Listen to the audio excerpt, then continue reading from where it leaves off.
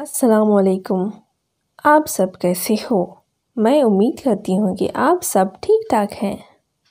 आज हम हिंदी में कविता पढ़ेंगे।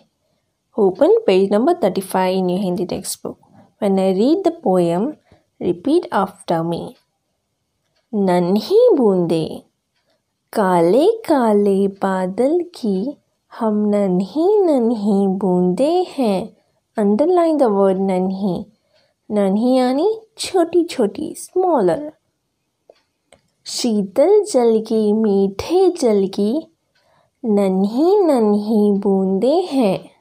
अंडरलाइन द वर्ड शीतल। शीतल यानी ठंडा कोल्ड जल जल यानी पानी वाटर बूंदे यानी ड्रॉप्स बादल के पंखों पर बैठ आसमान से उतर कर आती अंडरलाइन द वर्ड आसमान आसमान यानी स्काई रिम झिम छम छम मीटा गाकर झूम झूम कर जल बरसाती मुँह धो देती फूलों का हम पेड़ों को हरियाली देती अंडरलाइन द वर्ड हरियाली हरियाली यानी ग्रीनरी जीवन उसको मिल जाता है, जिस प्राणी को हम छू देती।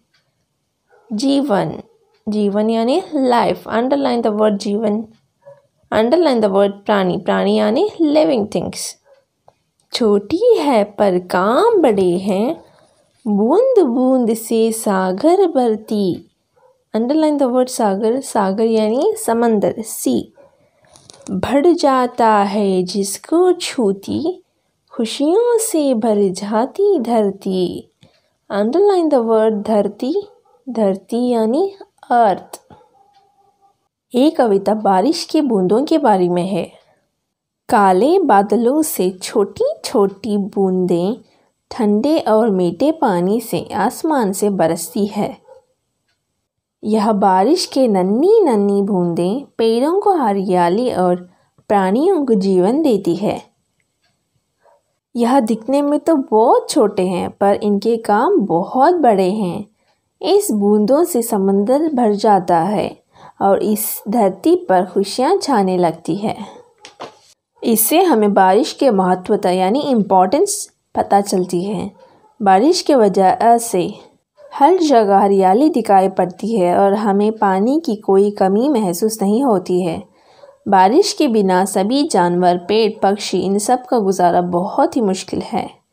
तो बच्चों, इस कविता को पढ़ें और अंडरलाइन किए गए हुए शब्दों को सीखें। जजक अल्लाह खैरा।